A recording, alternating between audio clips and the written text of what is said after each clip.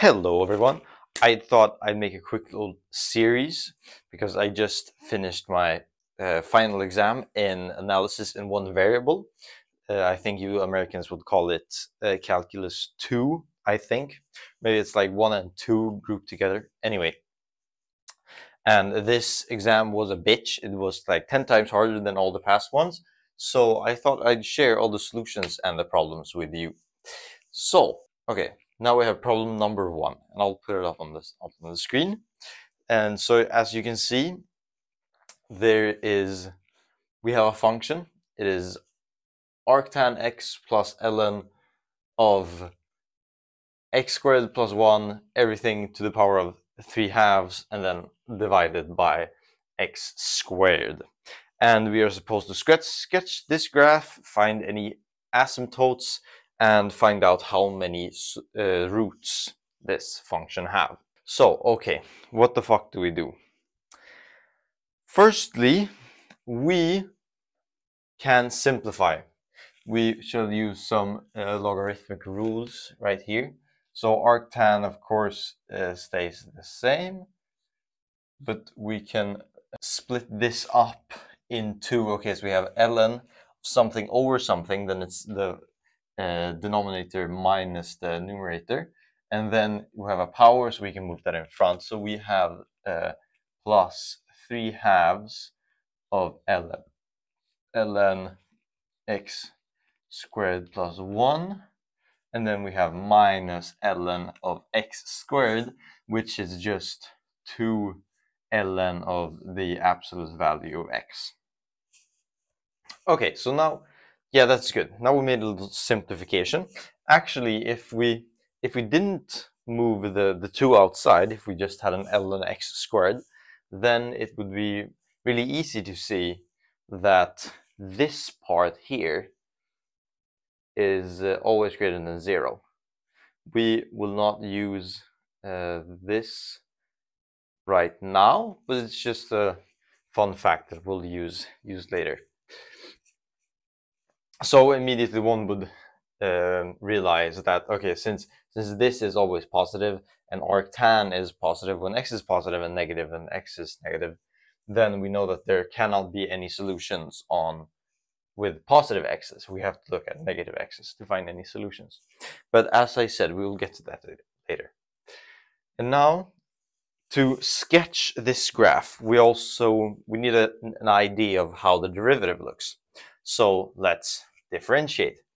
Uh, so we have that f prime of x is equal to 1 over 1 plus x squared, that is arctan's derivative, and then plus L 3 halves ln of x2 plus 1, so we get 1 over x2 plus 1, and then multiplied by the inner der derivative, which is 2x, so the 2's cancel out. So we just get plus uh, 3x over x squared plus 1 or 1 over x squared. Uh, and then we get a 2 minus 2 over x. And again, we can simplify this. So, okay, we will add these up. Okay, so we we see that the the denominators are sorry, numerators are identical, so we can just add them. And since x is not a factor of x squared plus 1, then we need to multiply all this by x, and we need to multiply all this by 1 plus x squared for everything to be on the same uh, division. Yes, uh, so then, okay, x, x times x squared plus 1, that is x3 plus x. And then here, okay, so we have 1 plus 3x times x. So there we'd have 3x squared plus x, and then minus 2 times x squared plus 1. So that is just minus 2x squared minus 2. And then we move things around, so we just get, okay, we get just get x squared plus x minus 2 over x 3 plus x. And now we look at this function right here on top. Or no, now, now we make a table of signs. So um, give me one second.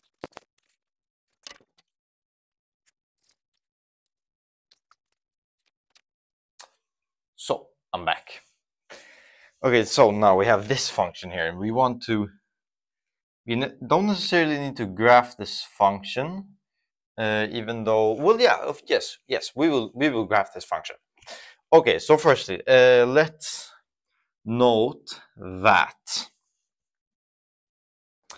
this function here can be uh, can be factorized as x since okay since one is a solution then we have okay so we have minus one and x plus 2 which makes perfect sense.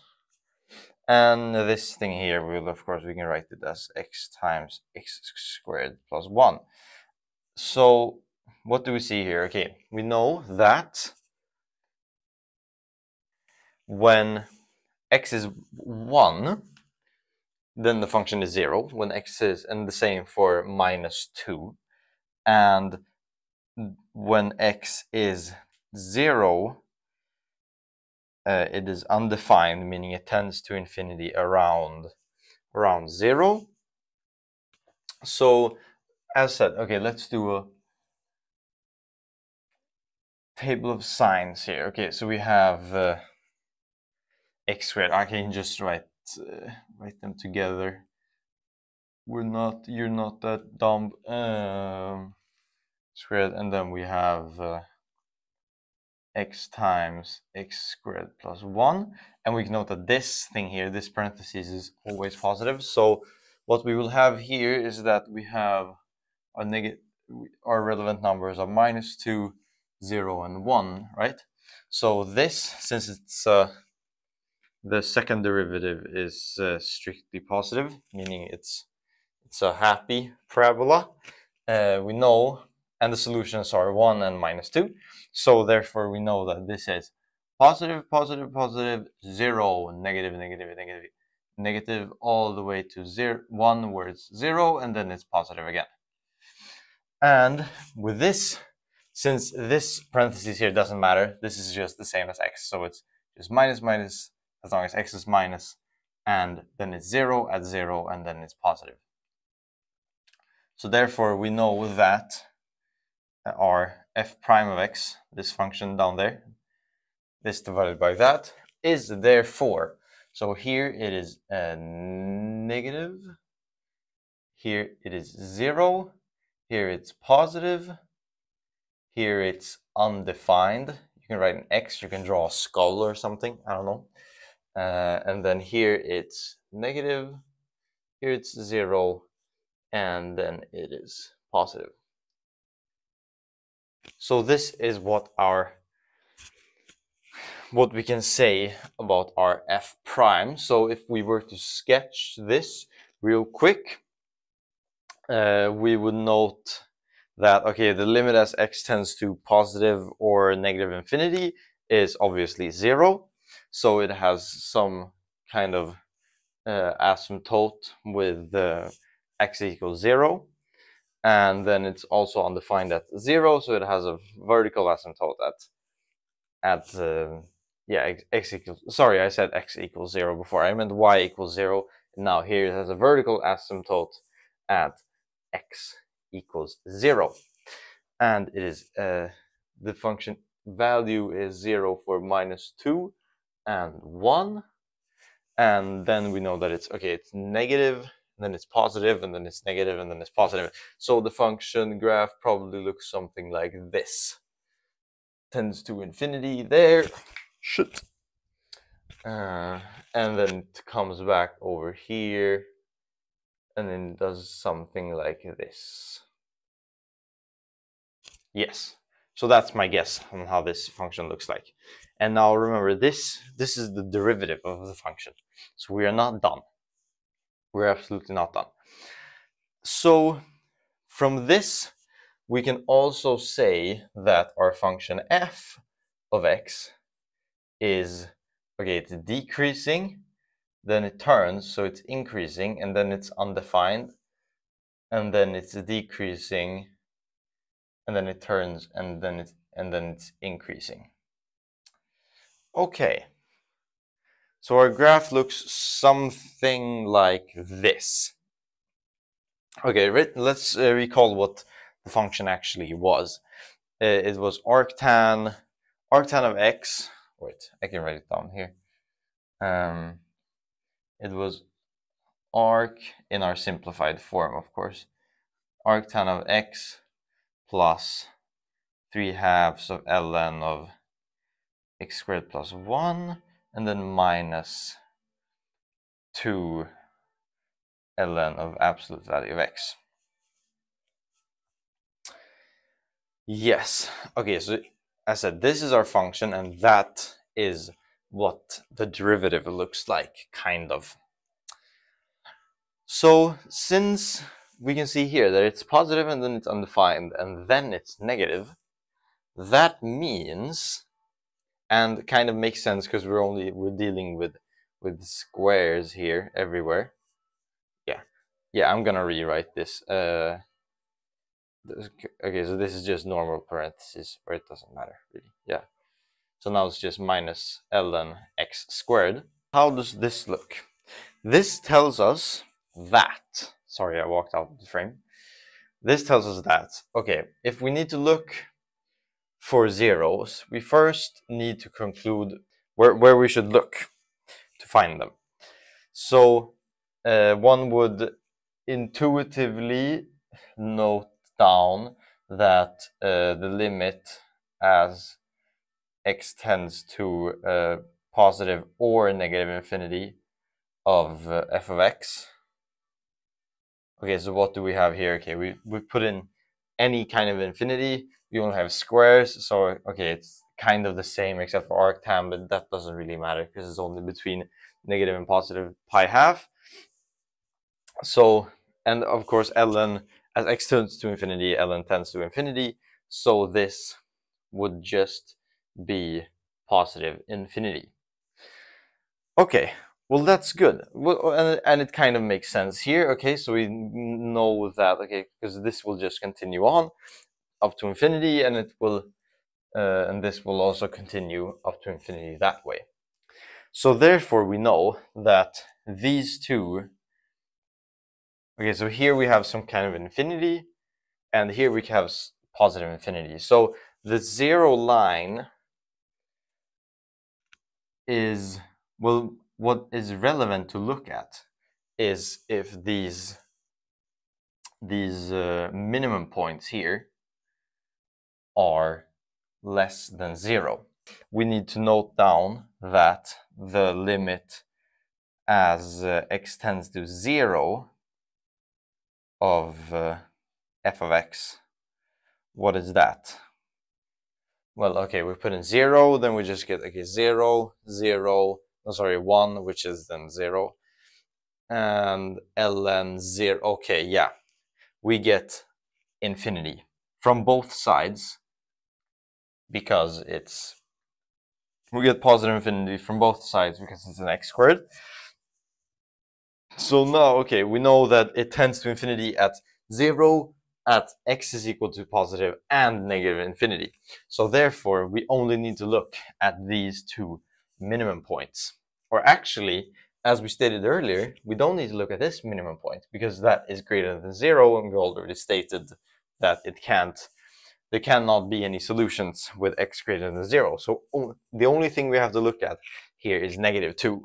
And if it turns out that negative 2 is less than 0, then we know that we have two solutions because we know it tends to infinity at 0. And uh, if it's larger than 0, then we know that it has no solutions or roots, you could say. So yes, uh, give me one second.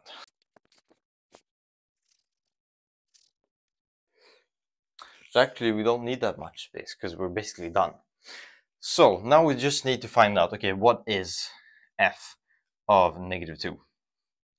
f of negative 2 is equal to, arctan of negative 2, which is just negative arctan of uh, 2, because uh, arctan is symmetric function.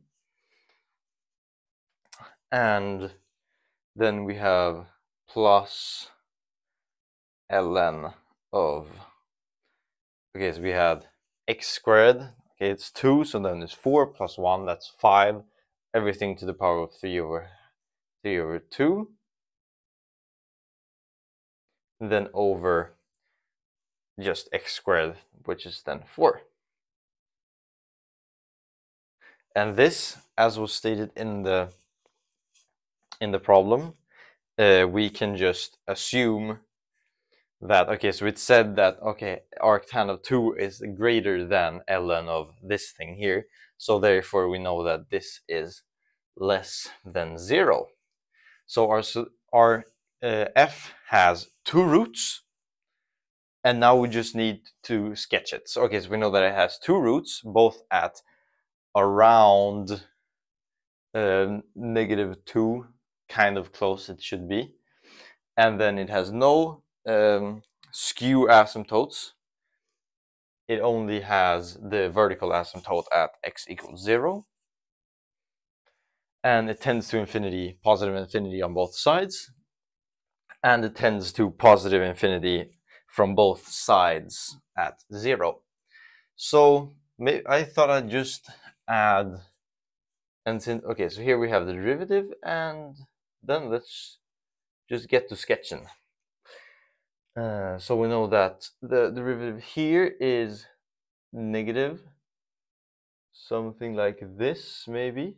Then it goes below, so we have we have two solutions, and then of course it turns around when the derivative is zero, and then it goes up to in positive infinity, and then it returns down to positive from positive infinity um, and okay of course we could just try to plug in an f of 1 and see approximately what it is but one could also just uh, note that um, f of x is equal to f of minus x plus 2 arctan of x because this thing here, or sorry, not that, but you understand, the ln part is uh, is the same for positive and negative numbers, and the arctan is symmetric, so we just add 2 arctan x. Uh, so, yeah, what is that? Maybe something like that. So, well, anyway, it's we know that it's greater than zero, so it doesn't really matter that much. And then it go down, goes down like that and turns around and goes away. So uh, this graph here, maybe I should use a different color. Because it comes in here. And then goes up towards infinity and then it goes down, turns around at x is equal to 1 and then goes away to positive infinity. And this as you can see here, is approximately what the graph looks like. So we did a good job. And uh, yes, so two solutions and it looks like that. Yeah, so that was everything. Hope you enjoyed the video and the next problem is coming right up.